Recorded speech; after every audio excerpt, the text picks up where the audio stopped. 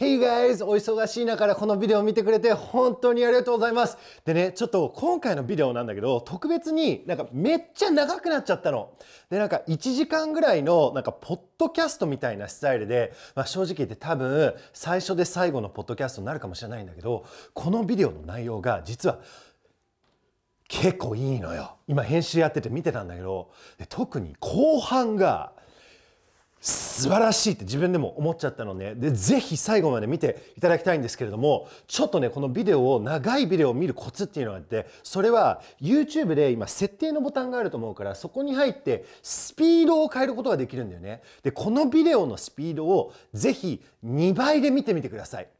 で本当にこれは聞き流すだけでいいと思うのね。ずっと見てなくてもいいの。だからそのあの Wi-Fi で見るようにあの電波量が飛ばないように気をつけてね。Alright guys でも本当にこの動画最後後半熱いぜ。Alright here's the video.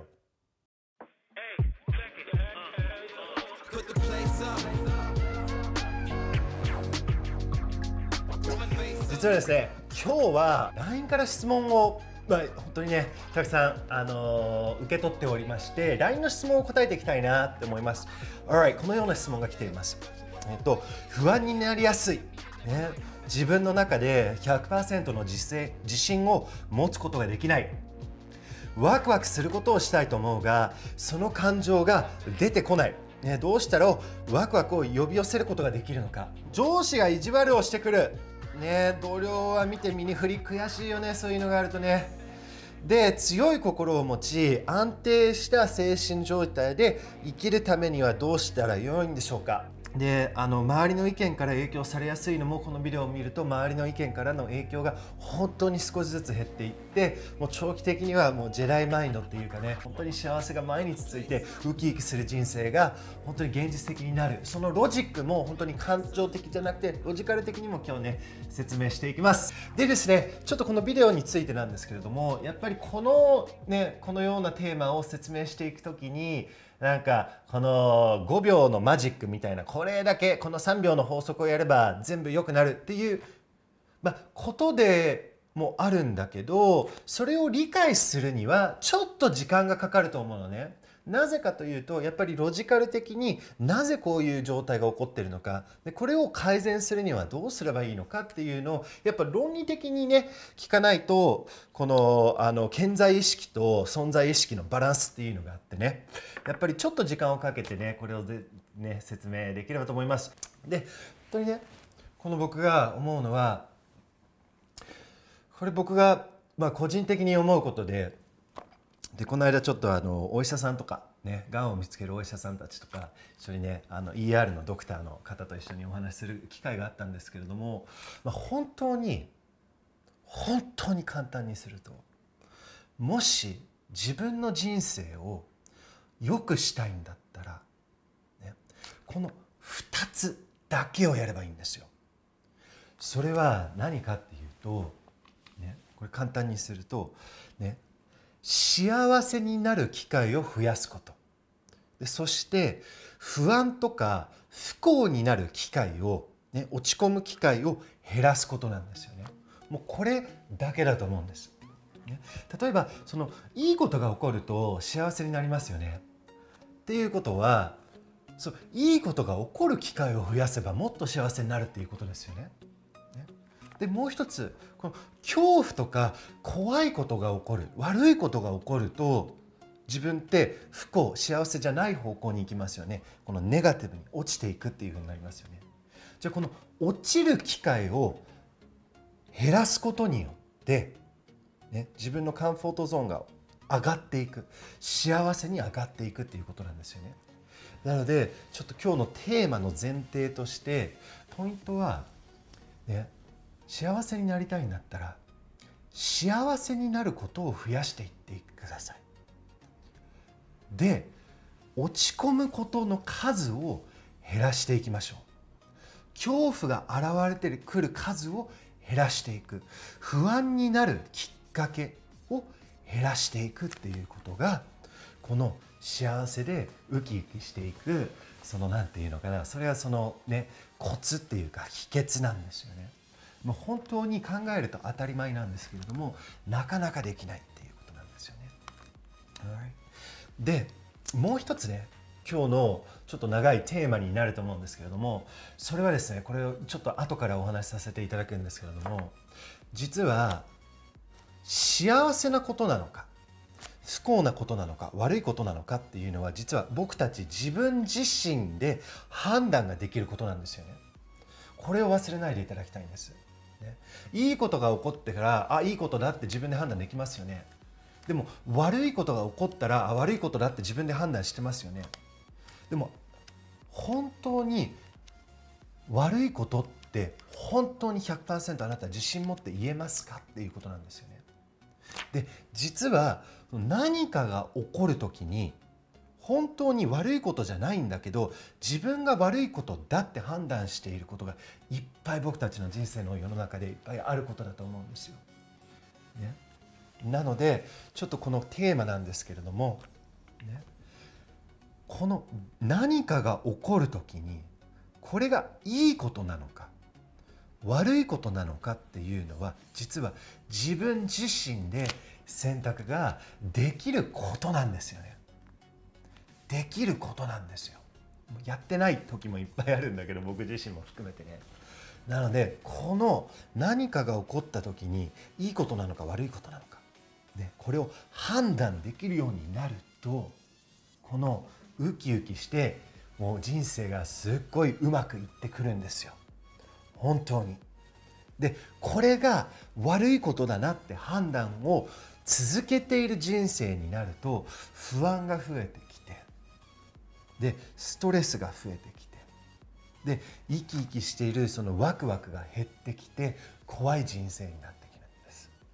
はい、でこれがねちょっとあの実際にまあこう言われてもねあのまあ多分そうだろうって思う方もいっぱいいらっしゃると思うんですけれどもやっぱりまあ僕も含めてなんですけどもうちょっとその論理的に実際に脳の中の仕組み心理的じゃなくね、心理的と、まあ、本当に現実的に脳の中で何が起こっているのかっていうのを僕たちはやっぱりもうちょっとあのこれを知ることによってもっとストーンって納得できるようになると思うんですね。なのでこれからですねちょっとお時間をちょっといただくんですけれども実際にね、何かが起こる時僕たちの人生の中で何かが起こる時に僕たちの脳は何どうやって考えてて実際にどのような、ね、ホルモンとかケミカルとかがリリース流れているのかっていうのを説明できればと思います。でですねこの部分がですね脳の中が実際にどうなってるかっていうのを説明すると結構専門的な言葉を使わないといけないんだよね。でこの専門的な言葉っていうのがすごい意外と難しいんですよ。なのでちょっとさっき話してたのはちょっと専門的なビデオを、まあ、別のところで用意して今日は本当に誰でも分かるようにちょっと簡単にまとめて説明できればと思います。まあ、みんなさあの蛇の脳と動物の脳と人間の脳ってお聞きしたことあるよね？これは本当にねあの1957年にその爬虫類の脳っていうあのレポートをねあのドクター・マクリーンっていう方があの博士がね発表して、まあ、本当にその1957年以上ですねずっとこの3つの脳があるよって言われてるんですよね。これはその爬虫類の脳っていうのがあってで蛇の脳。でその次に limbic system 動物的な脳っていうのがあってでその一番最後のところにこの人間脳っていうのがあるんですよね。でそれを今日ちょっと知っていただきたいっていうことなんですよ。Alright じゃちょっとごめんなさい。ちょっとコーヒー飲みます。よし。じゃあここからねちょっとねこの部分を気合を入れてちょっと難しいんだけど説明してみるね。はい。でね今日のポイントはねこの哺乳類の脳これがめちゃくちゃ面白いんですよ。でこの哺乳類の脳動物的な脳っていうのは、ね、実は英語で limbic system って呼ばれていると思うんですね。limbic system って呼ばれているの。でこの中がすっごい面白いの。でなぜ面白いかっていうと例えば何かが起こる時に僕たちの目からの情報耳からの情報そして下からの情報そしてタッチの情報がこの thalamus、ね、日本語で師匠っていうこの脳の部分に情報が入るんですよ。ね、面白いのこのね匂いだけは違うところなんだけど匂い以外のものが全部この師匠っていうところにブワーって情報が入ってくるのね。で師匠がうーんと思ってるのねで師匠が僕たちの考えるのに情報を出すと時と一緒にこのあの扁桃体で扁桃体って覚えにくいからこの変態君に変えるね師匠が情報を変態君に情報を出すわけよで変態がこの変態君が「師匠この情報危ないっす!」って「命に関わります!」って言ったらこの変態君がこの師匠の部下師匠株っていうところに師匠の部下に「おーいね、危ないぞ危ないから自分の体を守るためのホルモンを出しなさいって言って「おーす!」って言ってこの師匠の部下たちが「おーす!」って言って変態の下にいる人たちがこの脳回察ピチュータリーグランっていうところで実際にこのストレスホルモンをリリースしてくれるんだよね。まあコルチゾールアドネラリンっていうことなんだけどマジこの変態君が「危ないぞ!」って言ったら師匠の部下たちが「おーす危ないぜ!」って言ってパパパパパパって言ってマジアドネラリンとかコルチゾールっていうケミカルをリリースするわけよ。で実はこれすごいいいことなの。なぜかというとこの変態君頑張ってくれてるわけよ。ね、この情報が命に危ないぞってなってその判断が0.3秒から0.9秒でできるんだって。で例えば、ね、僕たちが信号を渡る時に、ね、なんかタクシーとか自転車がバーって来るじゃん。その時にさ、ね、危ねえって動くじゃん。そのドクドク心臓してるでしょじゃこれが変態くんなんだよ変態くんがその瞬間で「危ないぞ師匠危ないっす!」って言ってわーって言ってホルモンのアドレナリンのところがトクトクトクになって「ああああ危なかった」ってもしこの変態くんがいなかったらこの人間脳が考えてたら「うん自転車が確かに来てるなタクシーが確かに来てるなそうすると多分当たるからゆっくり現実的に考えるって考えてるあたりバーンってタクシーにやったって死んじゃうわけよな。ねだからね本当にこのなんかねスタバ行ってコーヒーがポンって転ぶじゃん。パーってなった時にその時にさ現実的に考えないでパッて取るでしょ。これもちょっと変態くんなんだよ。ね、だからこの変態くんにはすごいパワーがあるの。で変態くんのパワーはゆっくり考えている自分の人間の論理的に考えてるところをもういい加減にやめなさい。今危ないんです。っていうことに言って実際にその脳をスローダウンストップできるようにつくなってるのよ変態くん。すごいんだよ変態くん。ね。だから師匠に情報が入ってきて師匠が、ね、論理的に考える自分だよね。健在意識的な、ね、人間の。それとこのその無意識的な、ね、潜在意識的な。このあのね。この師匠の部下たちとか変態君に情報を投げるわけ。でここが面白いのよ。ね、もしこの師匠が変態君に、ね、この情報を渡すでしょう。で変態君がね、ピチュータリーグランドとか、ね、師匠の部下たちと一緒に「おーこれ危ないっす!」って言ってホルモンを出すじゃんアドレナリンとか、ね、コルチゾールとか、あとノルアドレナリンっていうのもあるのよねで面白いんだよこのホルモンは心臓をバクバクバクバクバクバクスピードアップさせてくれてで筋肉がバーって固まるのね戦うか逃げるかみたいな原始的な考えなんだよ。ね。でこれすっげえやばいぞ。これをストレスホルモン。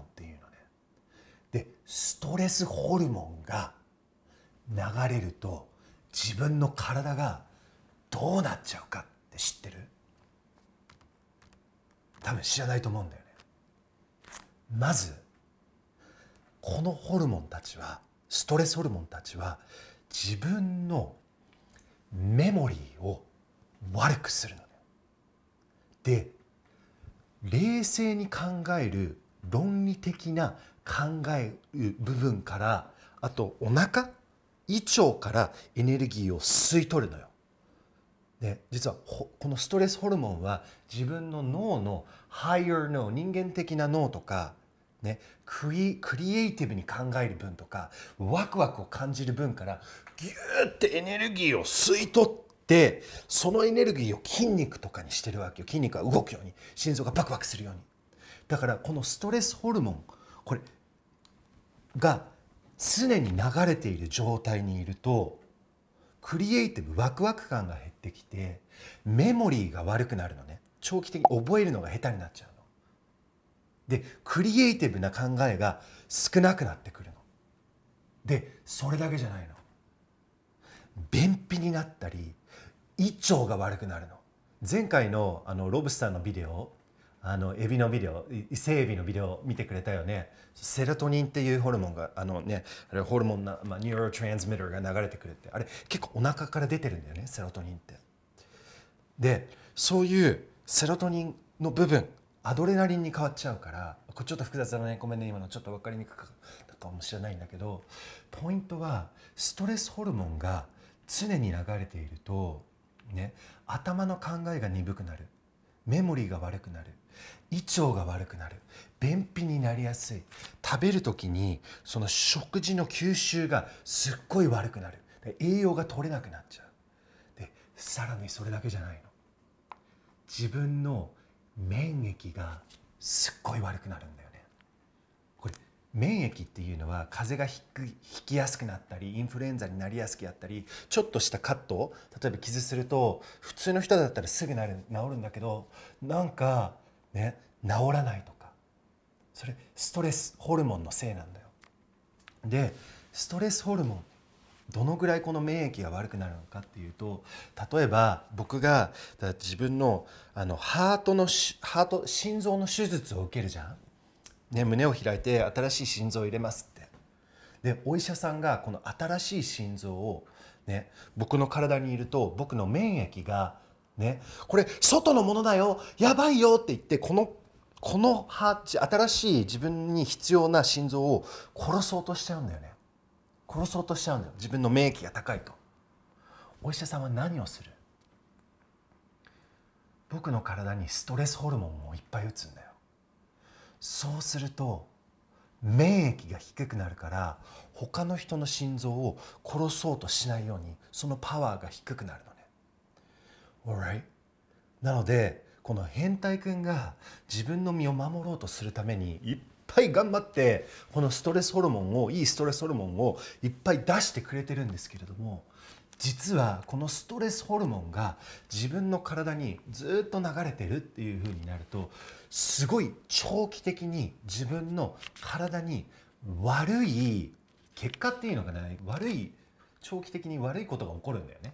うん、で長期的に悪いことが起こる何かっていうとこの,、ね、あの考えが悪くなる。クリエイティブな発想ができなくなっちゃう。ワクワク感がワクワク感。クリエイティブなことができない。ワクワク感を感じないような人生がずっと続くとか。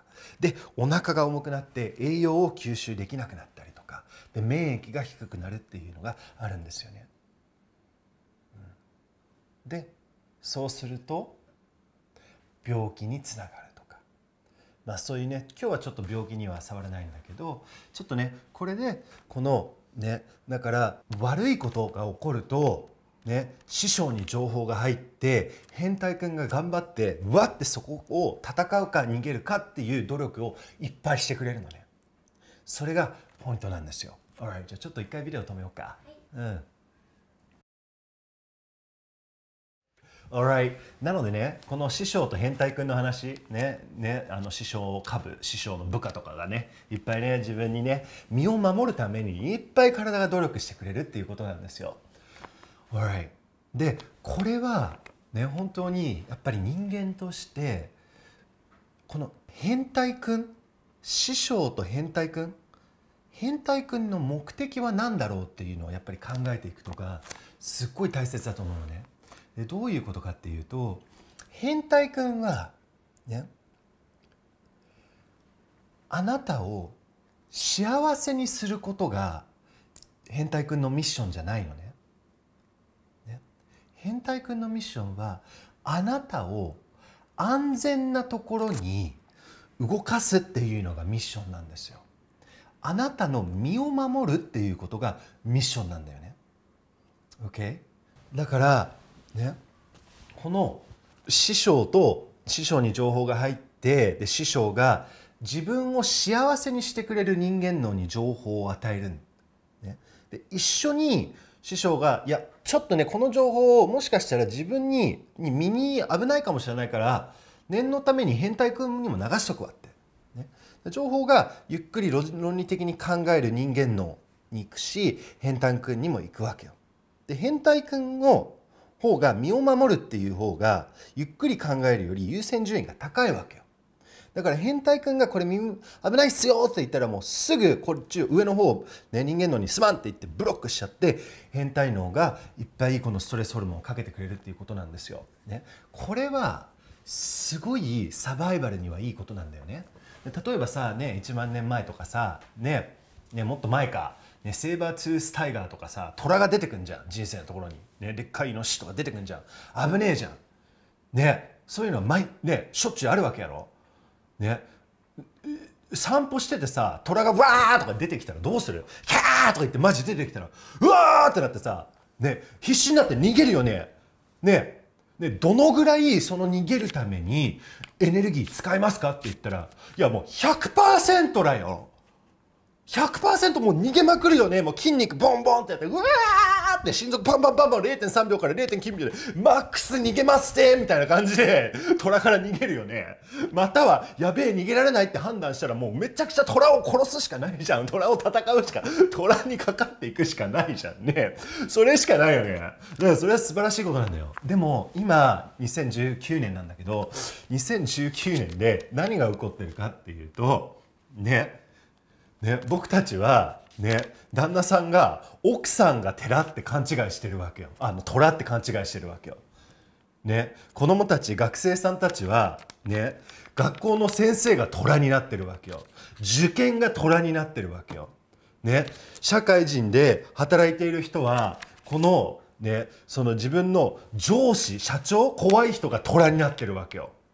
ねえー、そのお金がなくなるっていう不安が虎、まあ、それはちょっとねあの深いんだけどマジそれが虎になってるわけよ。でこの人の目線が虎になってるわけよ。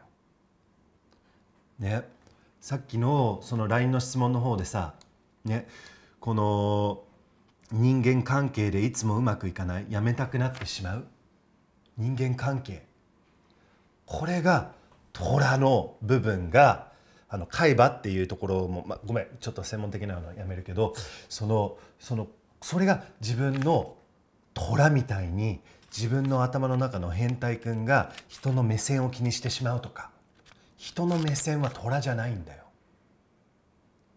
でも変態君が虎だって思ってるの。で変態君がね師匠の部下と一緒にこのストレスホルモンをいっつも流してくれてるわけよ。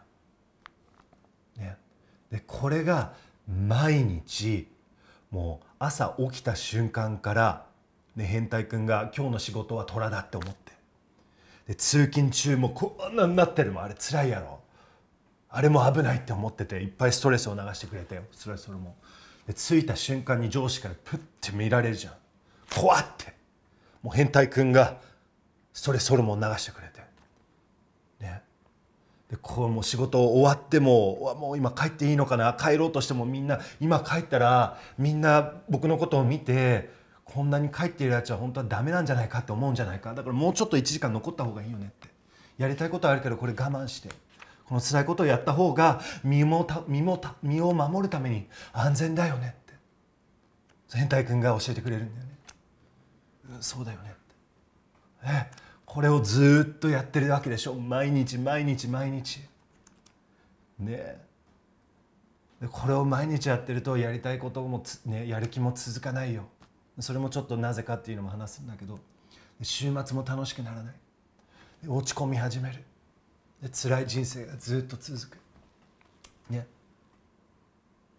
ね。自分の体の中に何が起こってるかっていうとこのストレスホルモンがずっと流れてるんやな。な自分の体調も悪くなるんよ。自分のこの胃腸も悪くなるよね。女性だったら便秘にめっちゃなりやすくなったりとか。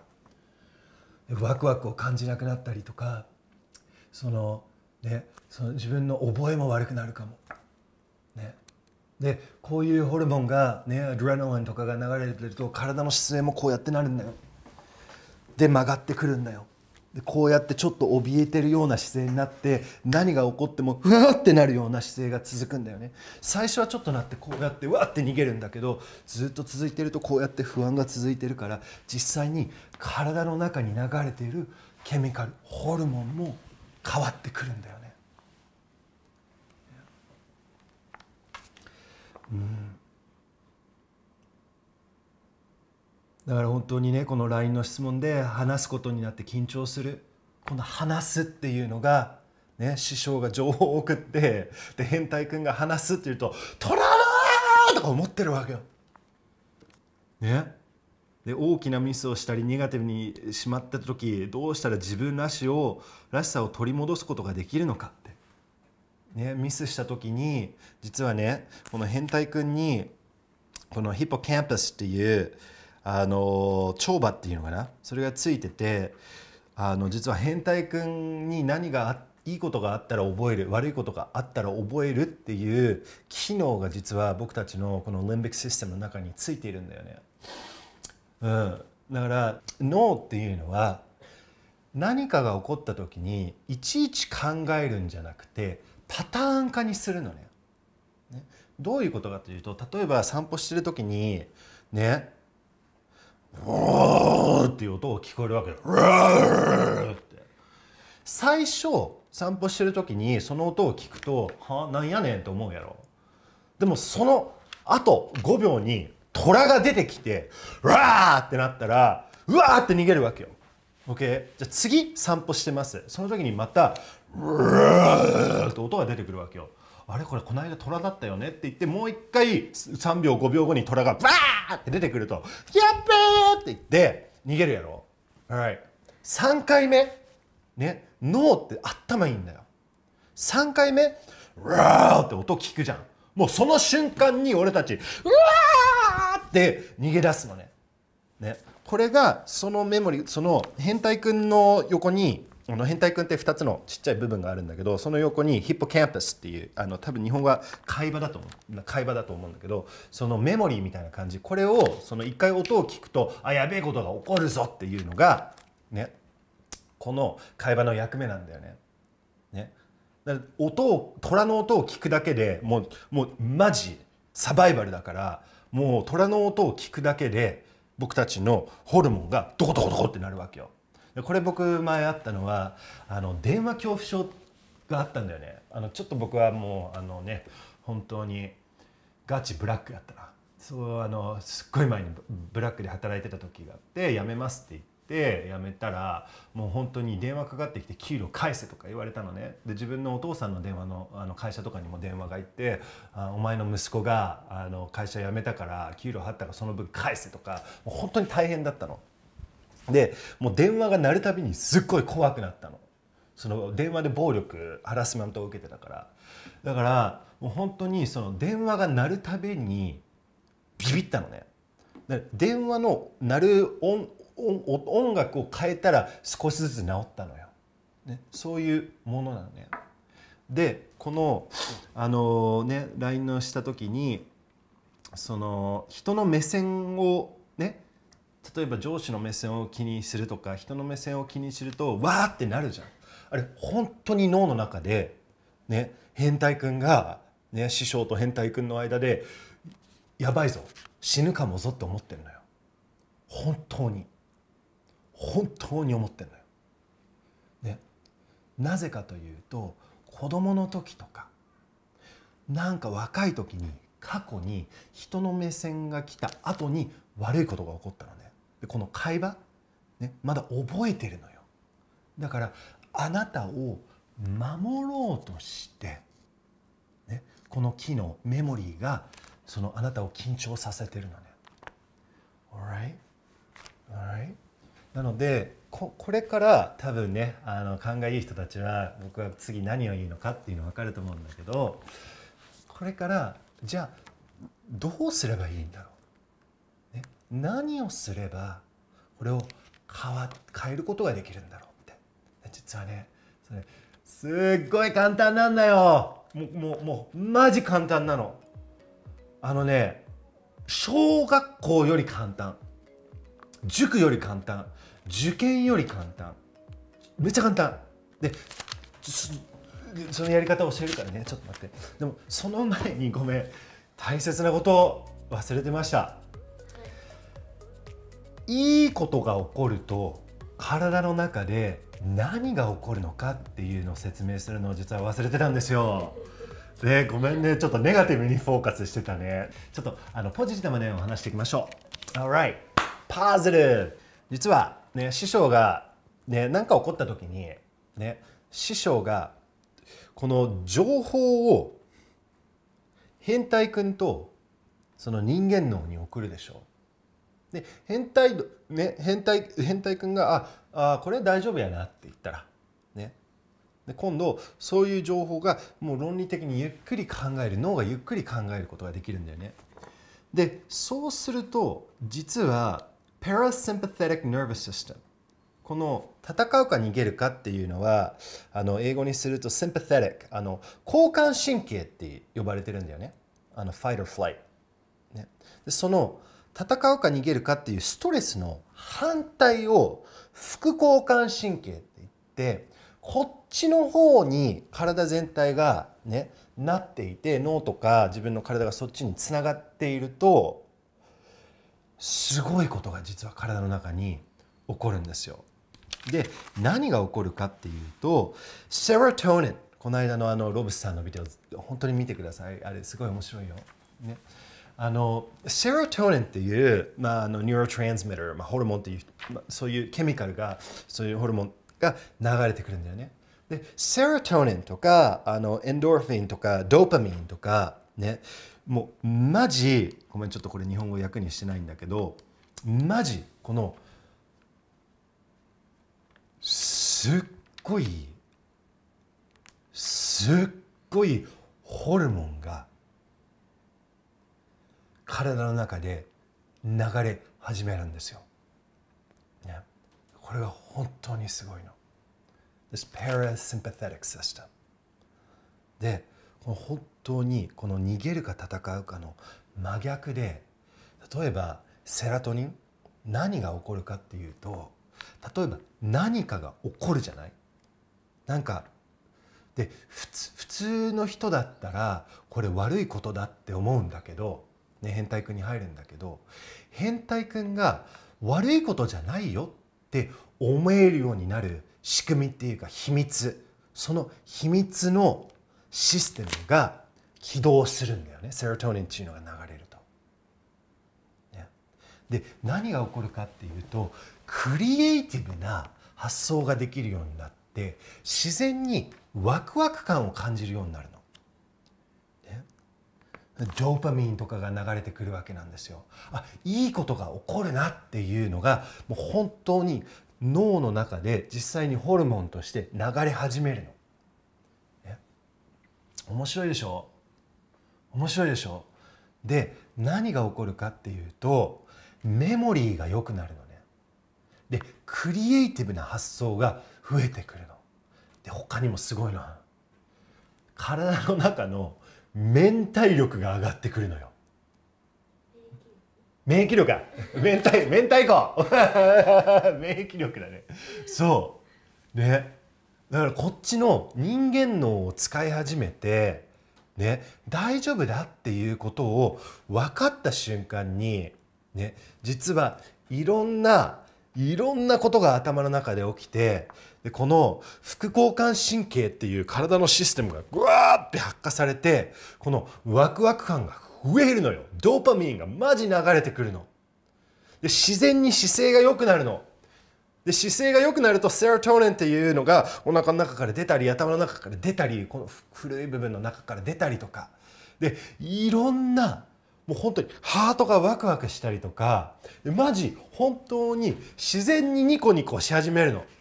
すっごい最初のね最初の一番最初のポイント今日のポイントなんですけれどもね、ウキウキ人生にウキウキ人生になってしまうの。でこれすごいのよただ単に本当に人生良くなるんだっていうことじゃなくて本当に何かが起きた時に自分でこれは本当に悪いことなのチャレンジなのか？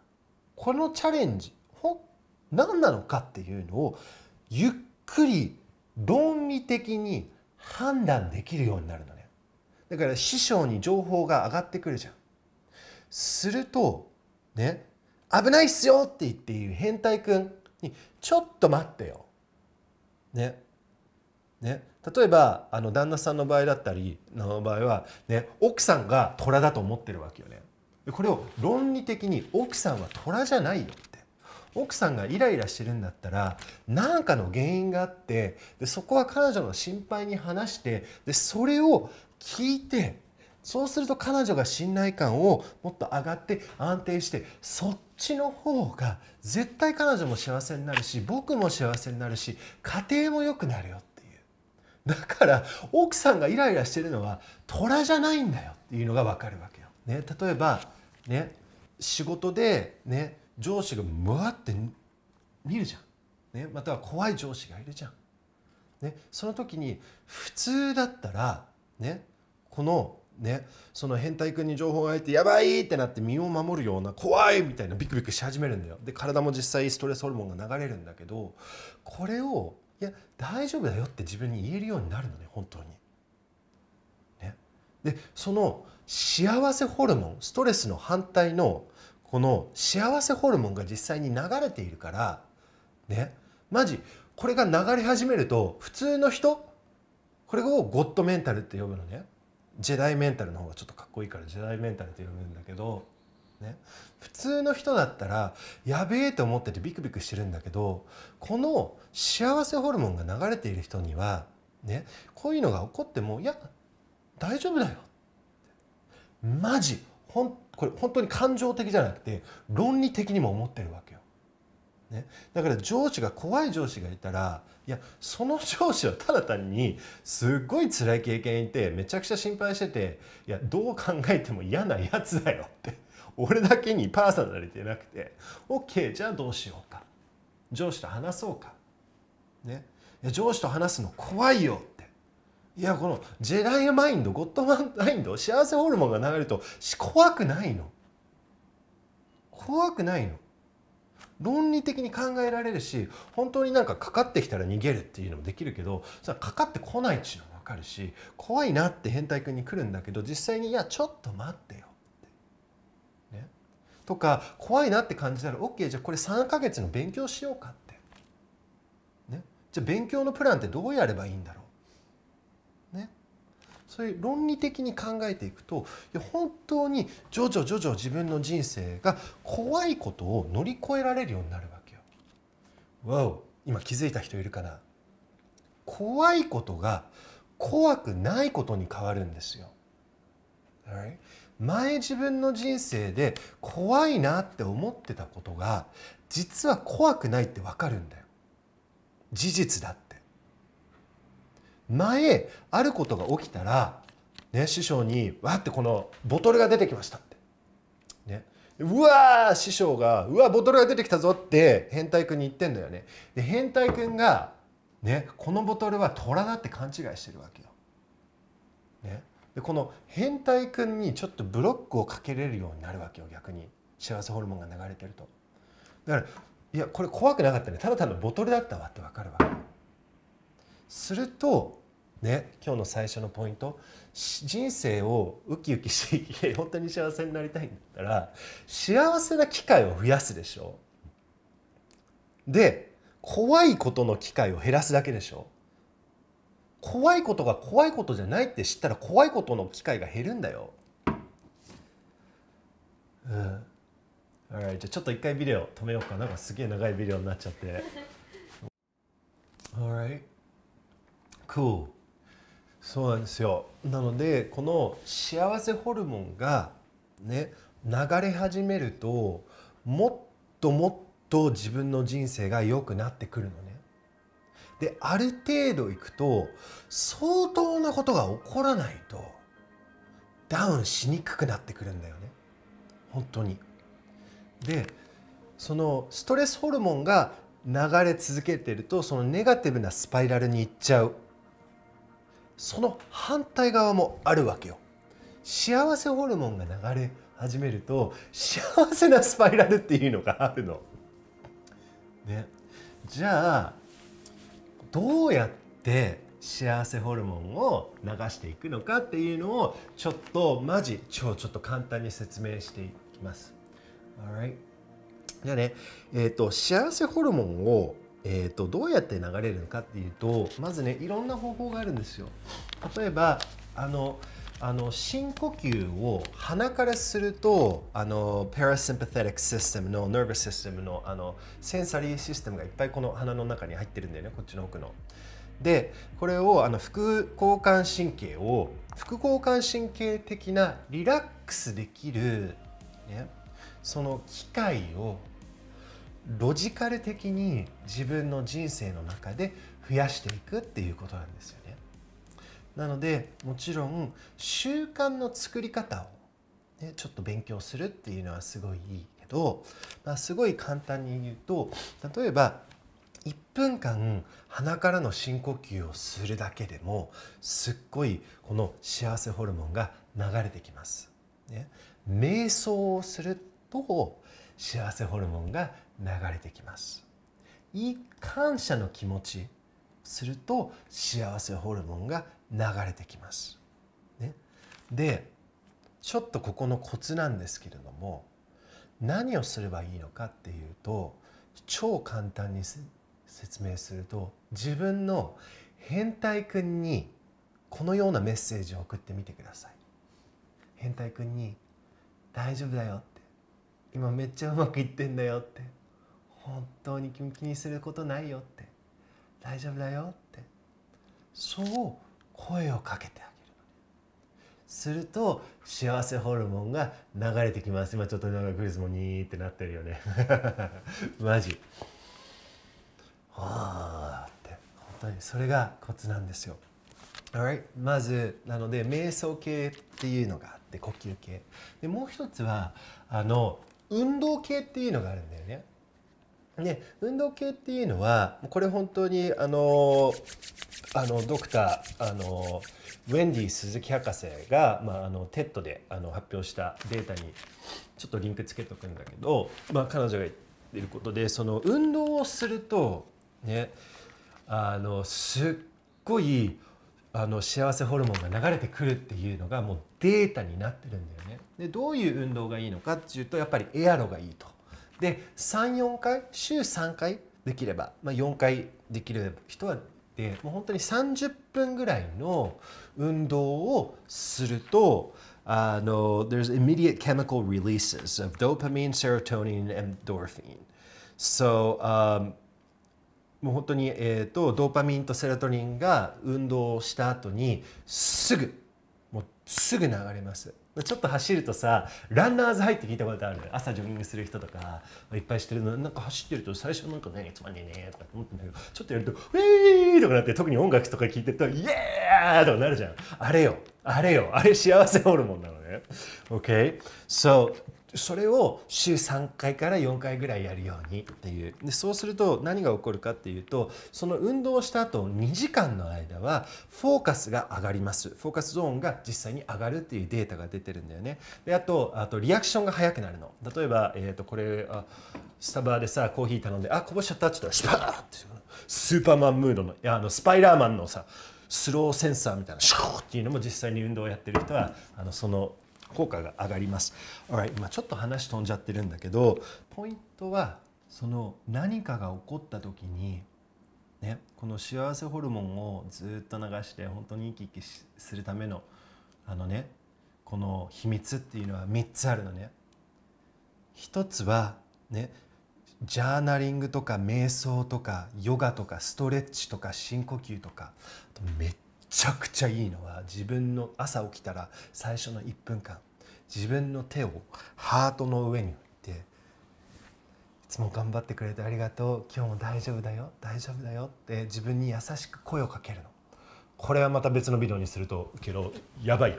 やばいじゃん。それウー！すごい。いい、right? okay, そういう系。それが一つね。だからそれを習慣にする。もう一つは運動。もう本当に朝の10分ジョギングからスタートするでもいいから運動をする、ね、でもう一つはこのメンタルを強くしていくっていうことなんですよね。でこのメンタルを強くしていくのがすっごい簡単で楽しいの。めっちゃくちゃ楽しいの。で何をしないといけないかっていうと何かが起こった時情報が師匠に上がってくる時にねその時に変態君が「やべえぞ!」ってなっちゃうからその時に何かが起こった時に変態君を止めるようにするのね。これがめっちゃ面白いのよ。で何をすればいいのかっていうと変態君がスタートすると不安と恐怖を感じ始めるのね間違いなく怖いなって何をするの？気づくだけでいいんですよ。気づくだけでいいの、ね、結構あの僕もやってたミスは恐怖を感じたらそれを直さないといけないっていう感じにしてたんですけれども直さなくていいのね。直さなくていいの、ね、これはあのシェンパ。ちょっと仏教の深いチベットの仏教の深いところも入ってるんですけれどもこのやばいぞって起こった時例えばあの上司の目線を気にするとか人の前で話すっていうこととかねいろんなみんなの恐怖があったと思うんですけれども、ね、話すことに緊張するとかね不安になりやすいとかでこの時にやることは不安になったなって気づくだけでいいの。でそうすると何が起こるかっていうと不安と恐怖っていうのはその恐怖の津波の中に入っちゃうみたいな感じなんだよね。で普通の人は恐怖の中に入っているっていうことを知らないの知らないのでまずその恐怖の波が来たらあ今恐怖の中に入っちゃってるって気づくだけでいいの。ね、でそうするとさっきのさその虎の音がするとねわーってなったら逃げるっていうのは、ね、その逆もあるわけよ。ね、で気づくとその逆を勝手に自分の脳がやってくれるの。怖いなっていう、ね、怖いなって。うわー怖いって。あ今ここれが怖いって言うんだねって。怖い怖い怖い怖い怖いってなるわけよ。で次また来るわけよ。パターンになってるから「うわー怖い!」って言って「ああそうそうこれが怖いっていうやつだ。うわー怖い!」そうそうこれが怖いっていうやつだって。うん。あこれが怖いっていうやつか。うわ怖いってなるわけよ。で3回目うわー怖いって言うやつが怖いよでもあれ？怖いけど前回よりあんまり怖くねえな。いやいややっぱ怖いよってなるわけよ。4回目？怖いあれ？あ確かに前回よりは怖くないねって。まあ大丈夫やんって。いやでもちょっと怖いよ。ねよくないな。6回目？7回目？あ怖いなって。8回目？これ明らかに良くなってるぜって。ね？10回目？いやこれ本当にすっげえ良くなってる。あちょっと論理的に考えて何ができるんだっけこういう時。あ深呼吸すればいいんじゃないって。おお恐怖が減ったって。ね。11回目12回目。これよく来るな。なんで来てるんだろう、はあ、ちょっとジャーナリングしてみようか。家に帰ってジャーナリングやって。ちょっと YouTube で調べて。ね。あ。あこういうことが起こると僕はこの恐怖を感じるんだなって。で今度もうジェダイマスターになるわけよ。あ今あのこれが多分今から恐怖来ると思うぞって。あ起こった起こった。ああ来てる来てる。あでも大丈夫。俺恐怖この恐怖選ばなくていいから。もう練習してたから。ちょっと冷静にこれをちょっと論理的に考えて対応してみよう。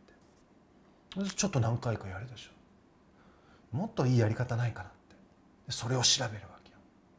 今度それも練習をして。ね。これは約3か月かかるわけよ。3か月後どうなってる？かってくるじゃん。もう怖いことじゃないのよ。いや本当にこれ僕すごい成長させてくれたよねこの怖いこと。ありがとうって。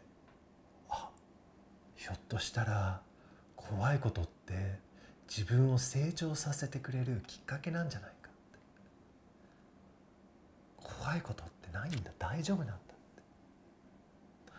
幸せホルモンが独々流れてくる。んだよねそれで自分の判断が変わってくる人とのあの話し方も変わってくる、ね、本当に人生がウキウキになってくるっていうことなんですよ。right? もう一つねちょっと今日一つアドバンスのことをお伝えしたかったんですよ。ここに書いてあるんだけどそれはね今辛いことをどうやったらよくできるのかっていうのを考えないでください。今人生の自分の中にどのような辛いことがあるのかっていうのを考えてください。わかる？辛いことの中をに自分がいてどうやってこの辛いことを直すんだっていうのは考えないで。自分の人生にいっぱい辛いことがある。何が辛いんだろうって考えてください。そうすると辛いんじゃなくて自分は大丈夫なんだけど辛いことがあるんだよね。このマインドを持つことによって本当にね問題の80%ぐらいはもう本当にすぐなくなる。と思います。なので辛いことがあったらいやこれ本当に辛いなって考えるだけで OK でどうやってこの辛いことをやるんだろうっていうのももちろん大切なんですけどもしこのビデオを見てちょっと感じたなと思ったら是非ですねちょっと紙にどのようなことが起こると僕は不安を感じるんだろう。何どういう部分？仕事？家庭？通勤？あなたは大丈夫なのよ。あなたの問題じゃない。あなたは問題ないのよ。問題はあなたの人生の中で起きてることなんだよね。通勤？仕事？家庭？ファイナンス？お金？健康？問題は直せるよ。お金？3ヶ月で直せるよ。健康？3ヶ月。運動とかできるようになるよ。人間関係？仕事？仕事についてはちょっと YouTube でもう本当にねあの個人的にあれも言うのもあれなんだけどすごい個人的にすっごいビジあのいいビデオを4本シリーズで作ったんだよね。好きなことを仕事にしている。あのね仕事って嫌いなことを仕事にしなくてもいいんだよ。好きで得意でワクワクすることを仕事にするとストレスホルモンが流れて仕事が楽しくなって仕事が楽しくてで考えも良くなってめちゃくちゃやってる人と仕事が嫌いで逃げたいっていう人どっちの方がいい仕事できる？どんなこと仕事して買う人はいっぱいいるんだから。ね。マジ。仕事はちょっとそれをあのぜひねその仕事系は結構もう毎回カバーしてるんですけどぜひそれを見ていただきたいと思うんですけどポイントはその OK どうやって仕事を直そうかっていうとその仕事が問題になっちゃってそれがああ俺の人生の問題だってなっちゃう。そうじゃないのよ。あなたは大丈夫なの。それをキューってちっちゃくして仕事っていうこともちょっとこれ改善せんといかん。や体重とかこういうのやるなって。よしじゃあこれを直していこうって。それできるんですか？できるんですよ。できるの。大丈夫なの。本当に。朝の運動ちょっとやったりジャーナリングやったり深呼吸やったり。本当にできるの。僕やってます。マジこれできるの。本当に。いやそれをちょっとやってやできるんだろうと思ってそうするといやできないよとか思うじゃん。それが師匠と変態君の話なんだよ。ね？そんなできねえよって。無理だよって。それ気づくだけでいいから。気づくだけでいいから。そうするとそれを選べるようになるわけよ。でそのできねえよっていうのを選ぶとそれ本当に論理的に正しいかな。論理的にやりたい。いや人生は幸せになれないっていうのを選ぶっていうのは論理的にロジカル的に本当に自分にいいことなのかなっていう。Alright ちょっとねすっげえ長い話になっちゃったんでこのぐらいにしたいと思います。いや本当もうちょっともうすっげえ大切なことがあるんだよ。本当に別のビデオにしようか。そうしましょう。But please let me know 今日はねちょっと本当になんていうのかな新しいタイプのビデオでもう本当になんかフリートークっていうかなんかいつもはなんかさ15分以内でこれバシバシバシって入れるっていう感じだったんだけど今日はちょっとなんかポッドキャストスタイルっていう感じでねでぜひあのこういうのをなんかオーディオのポッドキャストオンリーだったら面白いとかやっぱこれをビデオで聞いてるとあの、ね、w i f i だったらいいけどやっぱそのさかかっちゃうもんね電波がねオーディオだけでもいいっていうと言ったらあのぜひですねコメントで教えていただければと思います。思いますで本当に何か質問があったらぜひあの LINE で質問をいただければ一応あのあの、ね、全員のあの質問にあのお答えすることはで今できてないんですけれどもやっぱこうやってあの、ね、質問を受けて読んでますので本当にあのビデオを作るときも参考になってます。Alright, you guys, thank you so much for checking out this video and I love you guys and I'll see you next week. どうも本当にありがとうございました。